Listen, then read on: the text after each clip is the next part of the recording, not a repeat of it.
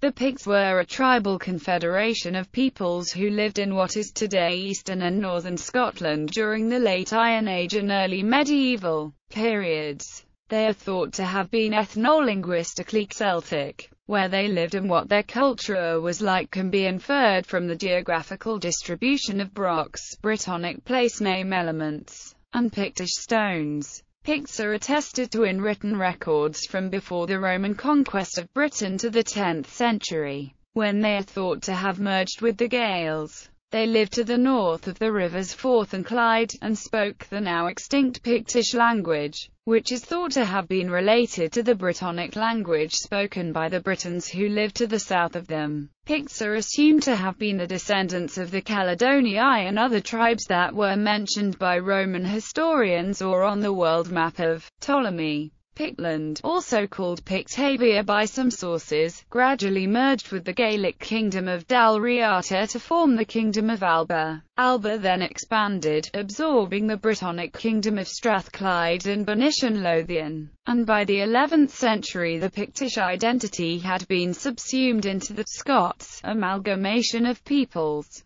Pictish society was typical of many Iron Age societies in Northern Europe, having wide connections and parallels with neighboring groups. Archaeology gives some impression of the society of the Picts. While very little in the way of Pictish writing has survived, Pictish history since the late 6th century is known from a variety of sources including Bede's Historia Ecclesiastica Gentis Anglorum, saints' lives such as that of Columba by Adomnán, and various Irish annals. Etymology What the Picts called themselves is unknown. The Latin word picta first occurs in a panegyric written by Eumenius in AD 297 and is taken to mean painted or tattooed people. As Sally M. Foster noted, much ink has been spilt over what the ancient writers meant by Picts, but it seems to be a generic term for people living north of the Forth Clyde Isthmus who raided the Roman Empire. Their Old English name gave the modern Scots form Picts and the Welsh word Ficti. In writings from Ireland, the name Crathine, Crathini, Crodney, Cruthny or Prutany was used to refer both to the Picts and to another group of people who lived alongside the Ulaid in eastern Ulster. It is generally accepted that this is derived from asterisk Cretani, which is the Goidelic, Q-Celtic version of the Brittonic, P-Celtic asterisk Prytani. From this came Britanni, the Roman name for those now called the Britons. It has been suggested that Cruthine referred to all Britons not conquered by the Romans, those who lived outside Roman Britannia, north of Hadrian's Wall. History a Pictish confederation was formed in late antiquity from a number of tribes. How and why is not known. Some scholars have speculated that it was partly in response to the growth of the Roman Empire. Pictland had previously been described by Roman writers and geographers as the home of the Caledonii. These Romans also used other names to refer to tribes living in that area, including Virtuorians, Turixala and Venicones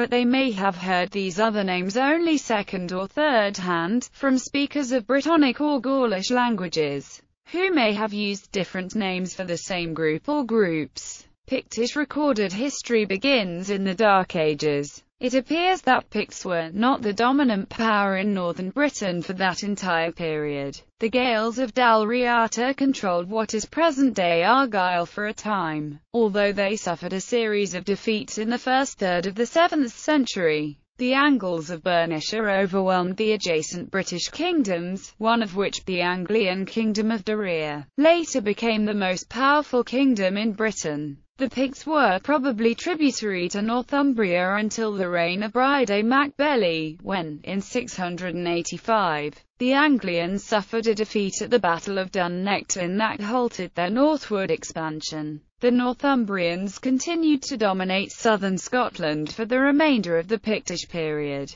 Dalriata was subject to the Pictish king Oengus MacFergusa during his reign, and though it had its own kings beginning in the 760s, does not appear to have recovered its political independence from the Picts. A later Pictish king, Constantine mac Fergusa, placed his son Domnall on the throne of Dalriata. Pictish attempts to achieve a similar dominance over the Britons of Alt-Clut were not successful. The Viking Age brought great changes in Britain and Ireland, no less in Scotland than elsewhere. By the middle of the 9th century, when Ketill Flatnose is said to have founded the Kingdom of the Isles, the Vikings had destroyed the kingdoms of Dalriata and Northumbria, greatly diminished the power of the Kingdom of Strathclyde, and founded the Kingdom of York. In a major battle in 839, the Vikings killed the king of Fortriu, Eogan mac Oengusa, the king of Dalriata Aed mac Boanta, and many others.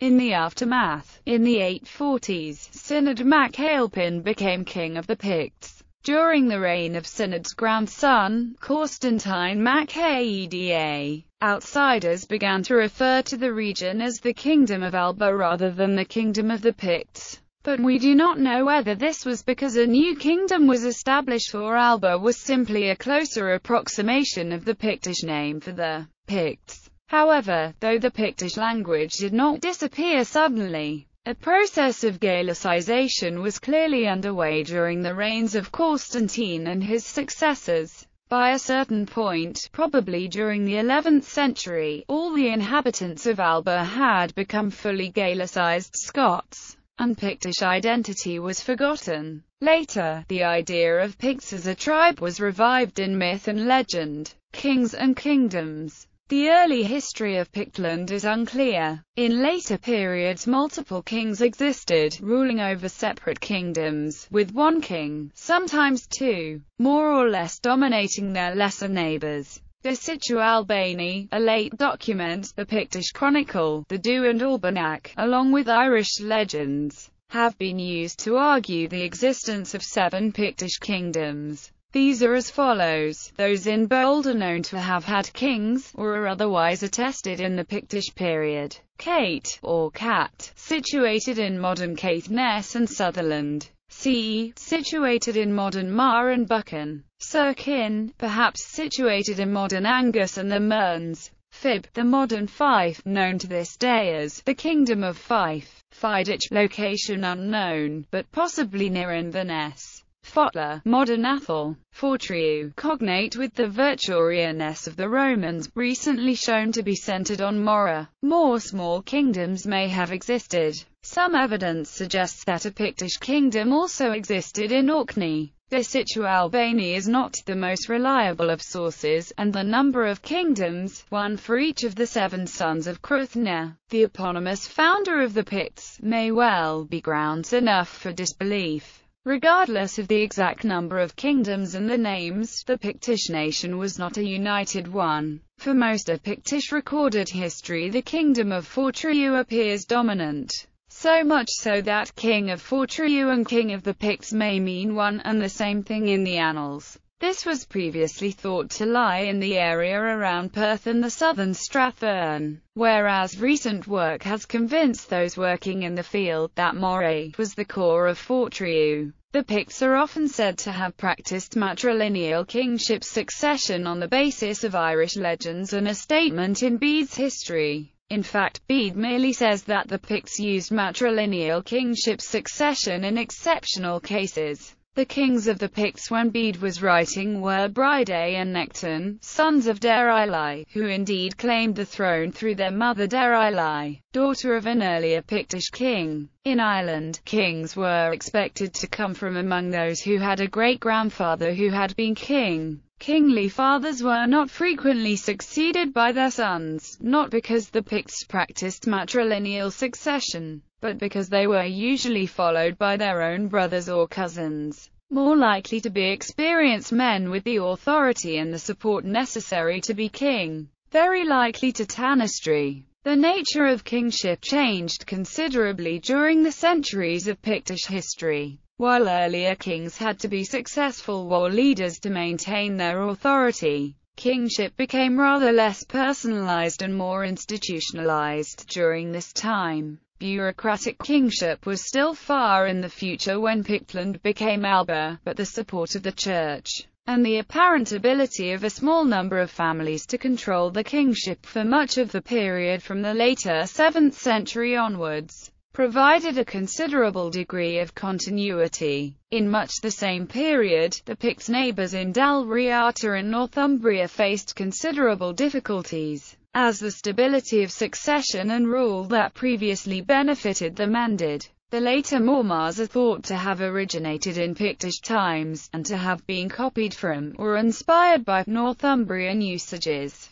It is unclear whether the Mormaers were originally former kings, royal officials, or local nobles, or some combination of these. Society The archaeological record provides evidence of the material culture of the Picts. It tells of a society not readily distinguishable from its similar Gaelic and British neighbours, nor very different from the Anglo-Saxons to the south. Although analogy and knowledge of other Celtic societies may be a useful guide, these extended across a very large area, relying on knowledge of pre-Roman Gaul, or 13th-century Ireland, as a guide to the Picts of the 6th century may be misleading if analogy is pursued too far. As with most peoples in the north of Europe in late antiquity, the Picts were farmers living in small communities. Cattle and horses were an obvious sign of wealth and prestige, sheep and pigs were kept in large numbers, and place names suggest that transhumance was common. Animals were small by later standards, although horses from Britain were imported into Ireland as breed stock to enlarge native horses. From Irish sources it appears that the elite engaged in competitive cattle breeding for size, and this may have been the case in Pictland also. Carvings show hunting with dogs, and also, unlike in Ireland, with falcons. Cereal crops included wheat, barley, oats and rye. Vegetables included kale, cabbage, onions and leeks, peas and beans and turnips, and some types no longer common, such as skirret. Plants such as wild garlic, nettles and watercress may have been gathered in the wild. The pastoral economy meant that hides and leather were readily available. Wool was the main source of fibers for clothing, and flax was also common, although it is not clear if they grew it for fibers, for oil, or as a foodstuff. Fish, shellfish, seals, and whales were exploited along coasts and rivers. The importance of domesticated animals argues that meat and milk products were a major part of the diet of ordinary people, while the elite would have eaten a diet rich in meat from farming and hunting. No Pictish counterparts to the areas of denser settlement around important fortresses in Gaul and southern Britain or any other significant urban settlements, are known. Larger, but not large, settlements existed around royal forts, such as at Burghead Fort, or associated with religious foundations. No towns are known in Scotland until the 12th century. The technology of everyday life is not well recorded, but archaeological evidence shows it to have been similar to that in Ireland and Anglo-Saxon England. Recently evidence has been found of water mills in Pictland. Kilns were used for drying kernels of wheat or barley, not otherwise easy in the changeable, temperate climate. The early Picts are associated with piracy and raiding along the coasts of Roman Britain. Even in the late Middle Ages, the line between traders and pirates was unclear, so that Pictish pirates were probably merchants on other occasions. It is generally assumed that trade collapsed with the Roman Empire, but this is to overstate the case. There is only limited evidence of long-distance trade with Pictland, but tableware and storage vessels from Gaul, probably transported up the Irish Sea, have been found. This trade may have been controlled from Dunadd in Dalriata, where such goods appear to have been common. While long-distance travel was unusual in Pictish times, it was far from unknown as stories of missionaries, traveling clerics and exiles show. Brochs are popularly associated with the Picts. Although these were built earlier in the Iron Age, with construction ending around 100 AD, they remained in use into and beyond the Pictish period. Crannog, which may originate in Neolithic Scotland, may have been rebuilt, and some were still in use in the time of the Picts. The most common sort of buildings would have been round houses and rectangular timbered halls while many churches were built in wood, from the early 8th century, if not earlier, some were built in stone. The Picts are often said to have tattooed themselves, but evidence for this is limited. Naturalistic depictions of Pictish nobles, hunters and warriors, male and female, without obvious tattoos, are found on monumental stones. These stones include inscriptions in Latin and Ogham script, not all of which have been deciphered. The well-known Pictish symbols found on stones, and elsewhere, are obscure in meaning. A variety of esoteric explanations have been offered, but the simplest conclusion may be that these symbols represent the names of those who had raised, or are commemorated on, the stones. Pictish art can be classed as Celtic, and later as insular. Irish poets portrayed their Pictish counterparts as very much like themselves. Religion Early Pictish religion is presumed to have resembled Celtic polytheism in general, although only place names remain from the pre-Christian era. When the Pictish elite converted to Christianity is uncertain, but traditions place Saint Palladius in Pictland after he left Ireland, and link Abernethy with Saint Brigid of Kildare. St. Patrick refers to apostate Picts, while the poem Y Gododdin does not remark on the Picts as pagans.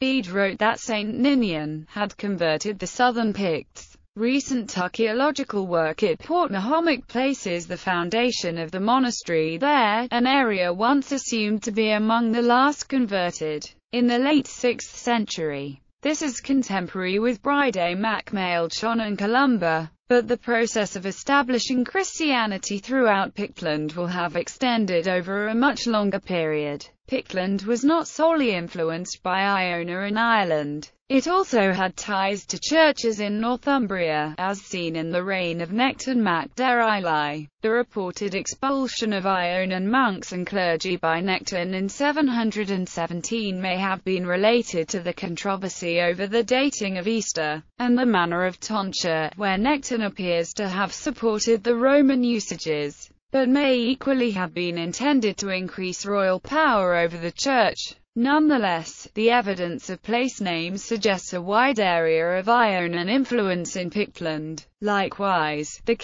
Domnane counts Nectan's brother Bride among its guarantors. The importance of monastic centres in Pictland was not, perhaps, as great as in Ireland. In areas that have been studied, such as Strathspey and Perthshire, it appears that the parochial structure of the High Middle Ages existed in early medieval times. Among the major religious sites of eastern Pictland were Portmahomack, Senrimonaid, Dunkeld, Abernethy and Rosemarkie. It appears that these are associated with Pictish kings, which argues for a considerable degree of royal patronage and control of the church. Portmahomack in particular has been the subject of recent excavation and research, published by Martin Carver. The cult of saints was, as throughout Christian lands, of great importance in later Pictland. While kings might patronize great saints, such as St. Peter in the case of Nectan, and perhaps St. Andrew in the case of the second Oengus mac